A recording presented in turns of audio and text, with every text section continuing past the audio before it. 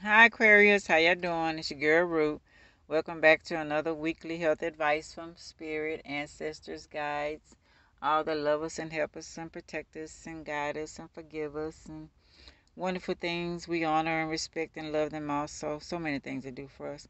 Did y'all um honor your ancestors? This are y'all honoring your ancestors on this Halloween? This see on my um, channel I have Happy Ancestor Halloween because that's what it originally was for. Um, our loved ones that passed away, and we're honoring them, and they have the chance to talk and help us out from now on November 3rd while the portal is open. And we have some that are lost and need to go their way, and not only humans, but other beings as well that are lost, and maybe they'll go their way back into the portal. And I know a lot of people, lower entities, are probably pulling some out as well as uh, some people trying thinking they can oh go inside the portal to the underworld. But anyway, we're con- we're concerned about our family and friends and wishing them well and want them to be okay. And I watched this one movie. Uh, they were talking about some kind of little cakes they used to make with raisins on it, and if you eat it, it would help your family uh, get out of purgatory if they, you know, said it wasn't so great here and uh, you wanted to help them out. And, uh, you know, I'm still reading about it, but I thought it was interesting. But yeah, Aquarius, how y'all doing today? Let's get started. Hope you had a great week, a wonderful weekend. Enjoyed yourself, like I say. Yeah. And uh, learn more every day, you know. Some people know about it, different cultures, you know, but some people you got taken, hidden from, you know what I'm saying? Just thinking that when you're dead in the grave, you're dead, you know. Not realizing the body that came from the dirt is in there, but your spirit, soul, you're not in there. You know what I'm saying? You're roaming, and hopefully you were ready or, you know, you know about the dimensions and going to the other dimensions and have been traveling now and know about astral travel and your spirit and only thing about astral travel, I know I do it at night because I wake up with all kind of wounds on me sometimes, so I'm probably fighting in the other realm. But I um, trust because it's like a, a um, supposedly like a invisible, um, I want to say wire, but it's like you know the umbilical cord or whatever that keeps you grounded when you wake up and go back into your body so trusting someone around you, you know what I'm saying, that they know for one, and they don't cut the cord and you just drifting. You know, uh, like a coma com, person in a coma. You know, you just out of your body, but your body's there, but it's still breathing, but your spirit is out of the body. That's probably what happens to coma patients, people in comas but yeah, I don't know. Trust issues, yeah. I'm working on them. Just gotta find people that are trustworthy that even wanna even be trustworthy enough to take the time, you know what I'm saying, to understand what's going on. You know, to be in the moment. That's that's what I'm concerned about. You know. So if I need you, you're there. You know, serious business like I would be. Making sure I'm doing the same. So a lot of things working on, y'all. So yeah.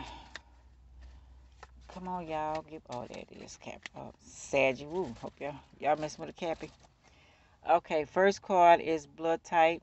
Find out yours so you can eat right and know who you are. So y'all know that's very important to me. Find out your blood type.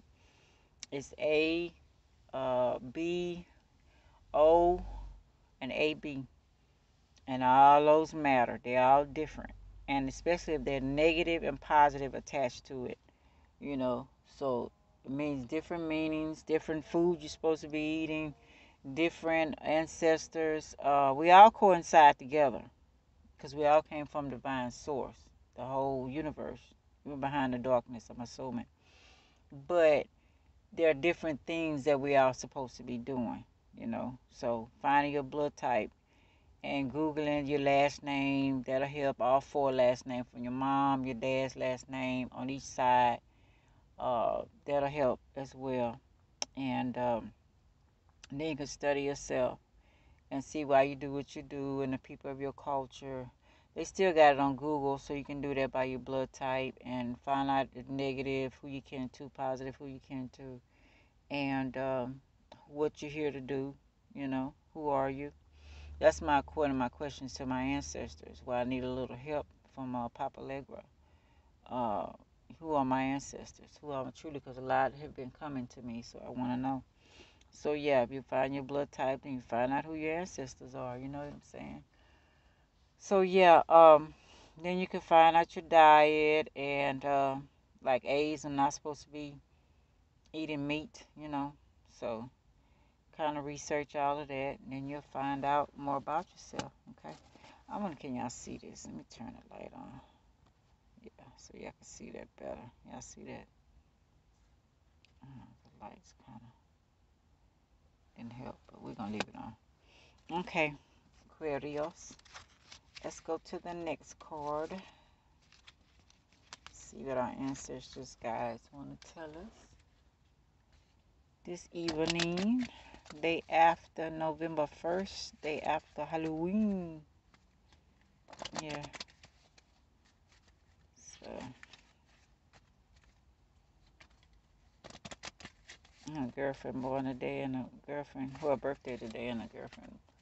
Birthday was yesterday. I was trying to look up and see if anybody was telling them happy birthday. The one that born yesterday, but they hadn't been on their Facebook and I don't know how long. I didn't think about their Instagram. I know. Uh, she was sick for a while back, but oh, she's doing great. I stopped talking to everybody. I kind of took them off my my page for different reasons you know, what I felt was I supposed to do, okay? Still love them though.